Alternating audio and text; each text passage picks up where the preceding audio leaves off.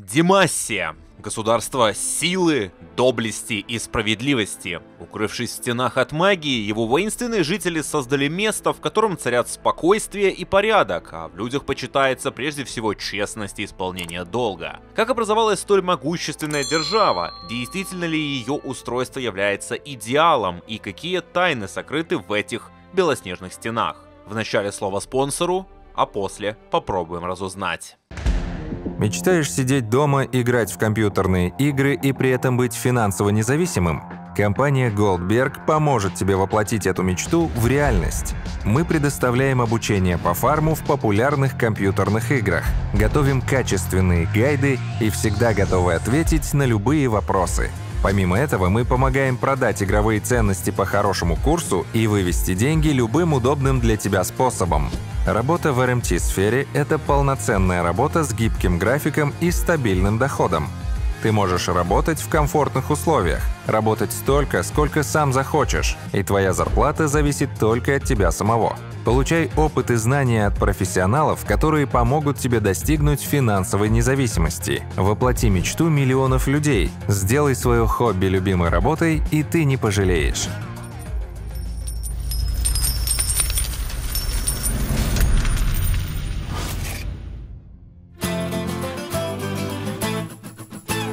История образования Демассии связана с руническими войнами. Сильнейшие маги развязали страшную войну, в которой люди, не наделенные какими-либо способностями, быстро погибали. Многочисленные беженцы пытались скрыться от всех ужасов на западе Валарана, однако и там столкнулись с неприятелем, культом темных магов. Потерявшие надежду путники укрылись в окаменелых лесах. Оказалось, что камень, из которого состоят эти самые деревья, обладает свойствами поглощения магии. Это и стало отправной точкой образования государства. Шло время, беженцев становилось все больше, территории заполнялись, но окаменелые леса не были безграничными, а народ, проживающий в этих краях, не мог дать отпор противнику в случае нападения. Тогда люди возвели белоснежные стены, обладающие свойством поглощения магии, в состав которых входили каменные деревья. Одними из ключевых персонажей в период зарождения Димасии стали две сестры – Кейл и Моргана, которых прозвали крылатыми защитницами. Еще детьми они вместе с отцом бежали с горы Таргон, в это время их мать стала вместилищем для сущности правосудия. После рунических войн они оказались в Демассии, где получили клинок матери и пробудили в себе небесные силы, став новыми сущностями правосудия и по совместительству защитницами нового государства. Однако со временем появились различия во взглядах, и между сестрами постепенно образовывалась пропасть. Началось все с битвы при Зефире. Защищая вдвоем крепость, Моргана оставила Кел одну, чтобы ликвидировать угрозу предателей внутри самой крепости но сестра не поняла ее намерений и подумала, что Моргана специально оставила ее одну в сражении. После данного случая Кел относилась к своей сестре с недоверием и осторожностью, а поэтому, чтобы защищать народ и осуществлять правосудие, она основала Орден Вершителей. Чаще всего взгляды Кейл и ее последователей были чересчур радикальными и жесткими, что приводило к рьяному преследованию виновных. Моргана была более милосердна, поэтому под ее влиянием некоторые приговоры смягчались, что вызывало недовольство у сестры и ее участников. Вершиной конфликта стала попытка Ронанса, одного из самых верных последователей Кейл, пленить Моргану за ее поступки в высоком Сильвермире. За это крылатая защитница убила Вершителя, но Кейл расценила это как предательство и сожгла весь город, чтобы очистить его от всех грехов.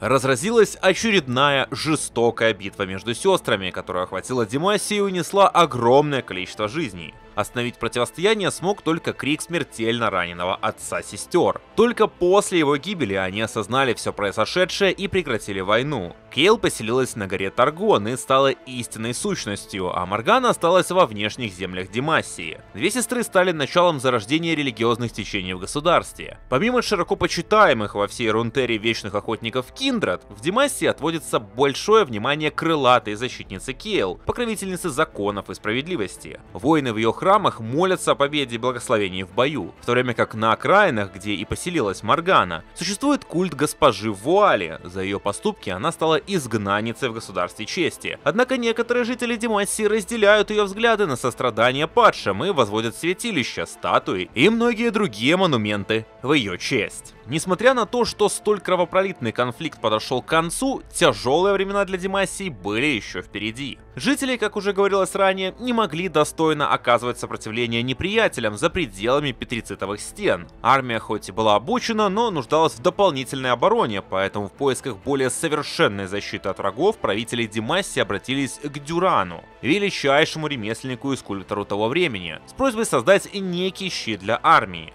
Через несколько лет мастер представил свое великое творение – Галио, огромную крылатую скульптуру из петрицита. Она четко отражала идеологию демосийцев, честность и справедливость. Все ее детали будто утонченные пластины, без каких-либо острых краев и шипов, которые могли бы в нужный момент переменить исход битвы. Даже крылья зачастую играли роль защитных экранов, так как были загнуты вперед. Галио буквально кричал всем своим видом, Димасиец не будет блуждать окольными путями, он смело, прямолинейно пойдет на противника и достойно победит без уловок и обмана. Однако переместить статую в город было чрезвычайно трудно. После первого же испытания Галио неожиданно ожил, и в дальнейшем его стали использовать по необходимости. А в последующие годы ученики Дюрана создали еще несколько петрицитовых колоссов для защиты страны. Положение Димасии с одной стороны очень удачное, до жителей не доходит обжигающий холод Фрильорда, а лес обеспечивает дополнительную защиту. Однако с другой стороны на государство с севера совершают набеги фрильорские племена, и границы Димасии плавно сливаются с территорией Ноксуса, которая так же как и страна чести в нынешнем нынешнее время является основной державой в Валаране. Между ними постоянно происходили конфликты как за центральные, так и за южные земли. Однако Димассия чаще всего занимала оборонительную позицию и не склонялась к экспансионизму. Нокс уже не мог сказать того же. Более века назад его экспансия достигла территории Димассии и развязалась война, закончившаяся победой прямолинейных и справедливых воинов. После решения внешнего конфликта разгорелся еще более сильный, только уже внутри страны. Идеология Димассии построена на неприятии магии, но иногда случалось, что рождались люди со способностями к ней. Однако они не могли правильно распоряжаться ею по причине отсутствия наставников. Ее бесконтрольные, сильные и мощные проявления вызывали у других страх и ненависть. Поиском исцеления от магического недуга занимался Орден Охотников на Магов. В нем состоял тот самый Сайлас, который, возможно, известен некоторым из вас. Маг по происхождению, который обладал даром чувствовать волшебство в других. В Димасе образовалась монархическая система правления и выделились различные классы общества. Сайлос не понимал, как справедливое государство, всегда борющееся за правосудие, закрывало глаза на неприкосновенность способности высокорожденных к магии и даже ее практики в высших кругах, в то время как простолюдины, на которых падало хоть малейшее подозрение, подвергались пыткам и мучениям. В один из походов на магов Сайлос по ошибке применил магическую силу к сослуживцам и убил их. Тогда он отправился в бега и быстро получил среди жителей дурную славу. Его считали одним из самых опасных магов Димассии. Однако охотникам все равно удалось поймать его и высадить на пожизненное заключение в самую глубокую и защищенную темницу, находящуюся в крепости магов, а руки его заковали специальными цепями, дабы он больше не мог колдовать. Спустя 15 лет молодая послушница Ордена Просветителей Люксанна стала навещать его. Между ними образовалась особая, непонятная другим связь. Сайлос научил ее лучше контролировать магические способности, а девушка взамен рассказала обо всех изменениях, которые происходят сверху. Жизнь неволи сильно повлияла на Сайлоса, озлобила его, но не сломала. В его голове зрел план восстания. Судя по информации от Люкс, он понимал, что момент настал. В итоге маг использовал наивную и напуганную своими способностями девушку, чтобы получить сведения о свойствах петрицита. Семья Люксанны, Краунгарды, узнали о связи между ними и повлияли на изменение условий приговора заключенного. Теперь ему грозила смертная казнь. В день исполнения приговора девушка взмолилась о пощаде для ее друга, но палач остался непреклонен. Однако в этот момент Сайлос смог прикоснуться к Люк с кандалами и похитить ее силу света. Так он пробил путь к свободе, убив всех на своем пути, кроме напуганной Люксанны. Ощутив свое могущество, Сайлос воодушевился и стал собирать вокруг себя сторонников, магов и других угнетенных жителей Демассии, недовольных сложившимся порядком, в котором аристократы обладали неприкосновенностью и могли делать все, что захотят. Все эти события показали существование глубокого общественного кризиса. Результатом всего произошедшего стал городской бунт, во время которого был убит Джарван III, но силами гвардии мятеж был подавлен. После побега Сайласа по Демасии прокатилась волна восстаний, как против магоненавистников, так и несправедливых арестов тех, кого подозревали в связи с магией. Как было сказано ранее, в государстве присутствует слой аристократии, который состоит из нескольких благородных домов. Бювель, Краунгард, Лоран, Спиритмайт и другие. В них часто появлялись действительно сильные духом люди, например Гарен. Он родился в благородной семье Краунгардов и с ранних лет знал, что ему предстоит защищать трон Демасии. Его родственники пользовались расположением Джарвана III.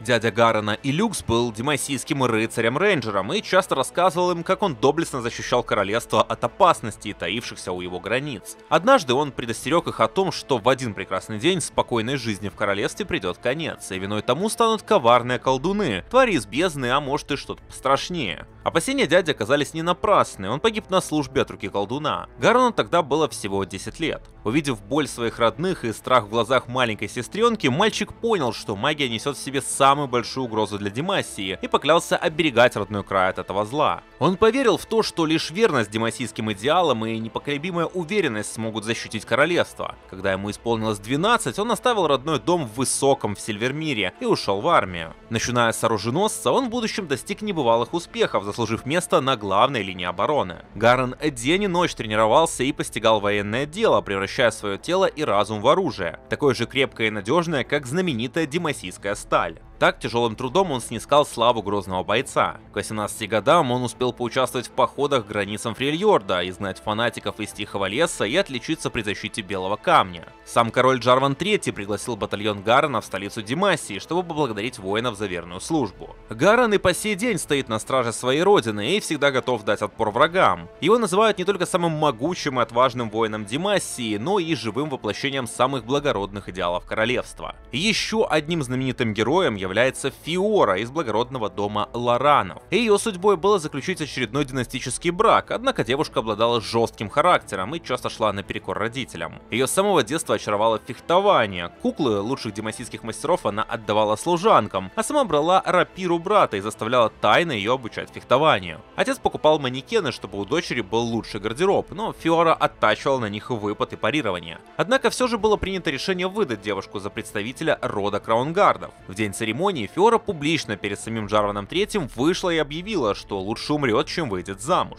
Ожидаемо развязался конфликт, который привел к предложению сразиться в поединке. Юная фехтовальщица согласилась, но участвовать в дуэли должен был ее отец Себастьян. Понимая, что не одержав победу репутация Лоранов будет уничтожена, а Феору с позором изгонит из королевства, он попытался подмешать противнику зелье, которое должно было ослабить его в поединке. Однако Себастьяна поймали с поличным и арестовали, так как был нарушен главный закон чести. Следствием этого стала казнь. Перед этим Фиора навестила отца в темнице, но о чем был разговор, известно только им двоим. В день осуществления приговора девушка подошла к Джарвану Третьему. Она намеревалась в поединке забрать у отца звание главы рода и исполнить приговор. Дуэль Себастьяна и Фиора была ослепительно быстрой. Отец Фиоры по праву считался выдающимся фехтовальщиком, но все же он уступал дочери. Звон лезвий сливался в одно долгое прощай, и в конце концов девушка со слезами на глазах пронзила сердце отца. На сегодняшний день Фиора со всей ответственностью исполняет обязанности главы рода, также она повлияла на повышение уровня фехтования по всей стране.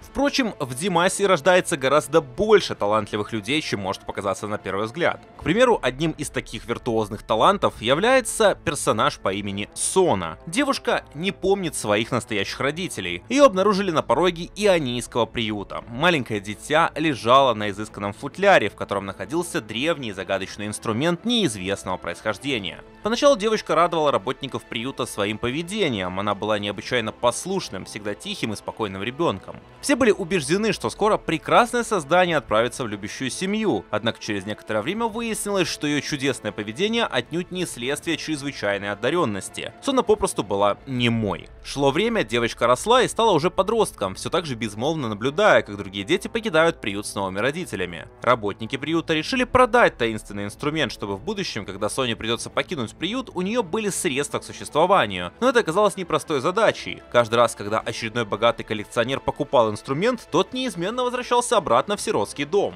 Иногда даже инструмент привозили обратно сами покупатели, а иногда его просто обнаруживали на пороге детского дома, как много лет назад. Однажды эта история дошла до состоятельной Димасийки или Старой Бювель. Она тотчас же отправилась в Ионию, чтобы своими глазами посмотреть на эту молчаливую девочку с волшебным музыкальным инструментом. В приюте показали эту злочастную вещь, которую они так упорно пытались продать. Листара мельком взглянула на инструмент и сразу же направилась в комнату Соны. Она без раздумий удочерила ее и оставила приюту щедрое пожертвование за то, то, что тот сохранил ей инструмент. Листара стала настоящим наставником и другом для Соны. С ее помощью девушка смогла открыть волшебную связь между Этвалем. Так Бювель назвала загадочный инструмент и собственной душой. Спустя время музыка Соны приобрела чудесное свойство. Она могла успокоить или наоборот взволновать души и сердца других людей. За несколько месяцев виртуоз струн стала звездой, собиравшей полные залы. Сона никогда не играла по нотам, ее мелодия чистая импровизация. Во время игры она будто касается не струны, а нити души, контролируя чувства слушателей. Однако была и темная сторона ее мастерства. Оказалось, что девушка может использовать этваль в качестве смертоносного оружия. При особой игре инструмент мог рассекать предметы, находящиеся на расстоянии. Сона оттачивала свое темное искусство в одиночестве на случай, если однажды ей придется воспользоваться своим талантом для исполнения смертоносной симфонии. Из этих историй мы можем сделать вывод, что Демасия рождает стойких и сильных духом людей. Они высоко ценят понятие чести и справедливости. Современные демасийцы провозглашают себя моральным авангардом Валарана, символом нравственности и единства. Честность намерений и непоколебимая доблесть отражается даже в облике государства. Белые оттенки призваны подчеркнуть чистоту общества. Внешние украшения элегантны, но в то же время просты. Внутри домов богатых жителей часто присутствуют скульптуры, которые буквально сливаются со всем интерьером, а сами здания высоки и словно устремляются к небу. Сами демосийцы носят вещи белых, синих, золотых оттенков, это национальные цвета страны. Кстати, во многих культурах именно они ассоциируются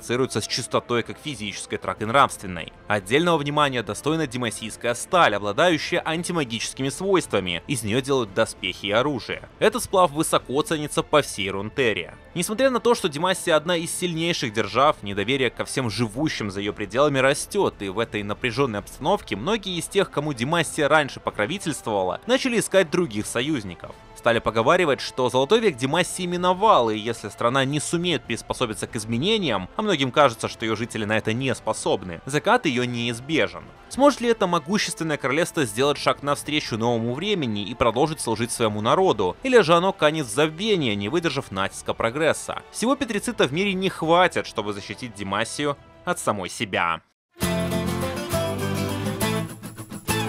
Хотя выход of World of Frontera все еще остается под большим вопросом, не вызывает сомнений, что Демассия будет играть ключевую роль в будущем проекте, ведь ей предстоит принять участие во множестве войн, как внутренних, так и внешних. Ведущая беспощадную бойню внутри против магов и тяжелую войну против Ноксуса на своих границах, эта держава определенно заслуживает того, чтобы ее герои сыграли важное место в рассказе действующей истории. Сложно сказать, сможем ли мы принять одну из сторон конфликта, но если да, ее выбор для многих после ознакомления с этим материалом может быть очевиден. На этом я заканчиваю свое видео. Если оно вам понравилось или было полезно, обязательно поставьте ему лайк, а также поделитесь своими впечатлениями в комментариях. Кроме этого, пожалуйста, не забывайте про подписку, ведь она действительно сильно мотивирует меня к скорейшему выпуску нового контента, а вам позволяет своевременно получать оповещения о его выходе. Заранее спасибо за вашу активность и до очень скорой встречи!